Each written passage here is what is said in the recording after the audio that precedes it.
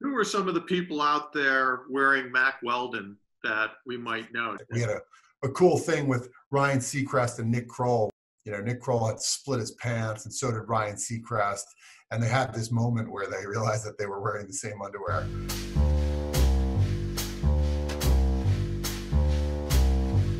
It's no secret that the pandemic has caused a major boom in online sales. Meet Brian Berger. He was ahead of the curve when he launched his menswear clothing line, Mack Weldon, in 2012.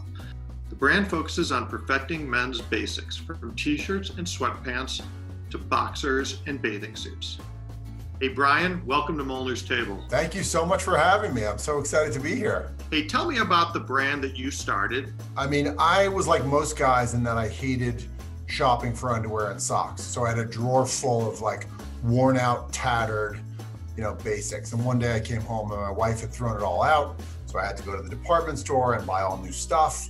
And that was really where I had my aha moment when the sales guy came over to me and said, Are you confused yet? It just felt like there had to be a better way, um, both from the customer experience standpoint as well as the product. And fast forward eight years, there are a number of brands now that have sort of jumped into this space.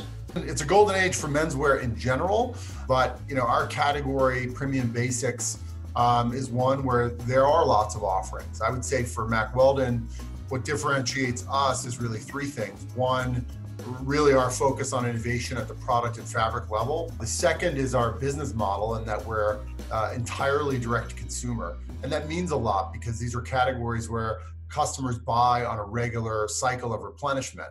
And now we have huge businesses in you know, in lifestyle apparel uh, that, that, that goes well beyond underwear and socks. You were nice enough to send me some product. Yeah. Outfitted in it today, and I would say I'm extremely comfortable. But there is a lot of technology in this fabric. And probably the most clear example of that is our silver fabric, where we took you know the softest um, you know natural fiber, which is Pima cotton, uh, and we blended it with uh, a technology called um, X-Static silver. And what's cool about silver is that it's naturally antimicrobial, it's naturally thermoregulating, uh, and we're the first brand ever to use it in lifestyle apparel. And not just because it sounds good or it's a gimmick, it actually really means a lot in this category, right? This is product that you're wearing next to your skin. So things that keep you cool and dry, things that fight odor, those are all things that really matter in the categories that we sell. And how has COVID impacted your business? There's just been an extreme shift uh, into our product categories, and there's a sense of urgency um, that didn't, you know, that you don't typically see, right? Guys buying one, two, three, four pairs of sweats at a time versus I'll buy one and then maybe consider another one down the road. The second is that we don't really have any offline exposure. We're entirely e-commerce driven. So, so we've been able to really thrive in an environment where others haven't. I was thinking back to Walter White and Bad and yeah. how famous he made his tidy whities. I wondered, uh, you know, has has the style of men's briefs changed over the years? It has. I mean, boxer brief is typically the, the, the most popular style. The other thing is fly or no fly. That's like a very controversial topic. We have a best-selling line called Airknit X that doesn't have a fly. People freak out over it. They can't. They, they either totally don't care, or they are like, there must be some sort of manufacturing defect. Talk to me about your experience in starting Mack Weldon and what, what's been more difficult along the way than you could have expected? I had always thought that my one of my strengths and superpowers was people management and building teams. And I would say that throughout the various stages of building this company, that has always been the singular uh, biggest area of focus uh, and, and also the biggest area of joy and pain. Because you're always you know trying to bring great bring great talent into the organization.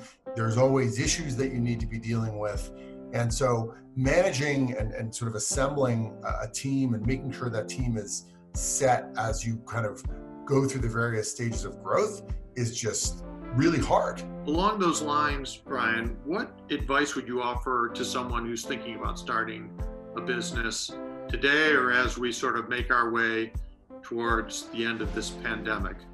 The advice that I would say is buckle up because it is it is really hard work. Um, it is insanely gratifying work, Um, but it's not like what you read, um, you know, on Twitter or what you see in the movies. It is hard, grinding work, um, and so you really have to be passionate about what it is that you're doing because there's, you know, nobody nobody gets a free pass, even if your company's hot, rocket ship out of the gate. At some point, you know, you're grinding it out.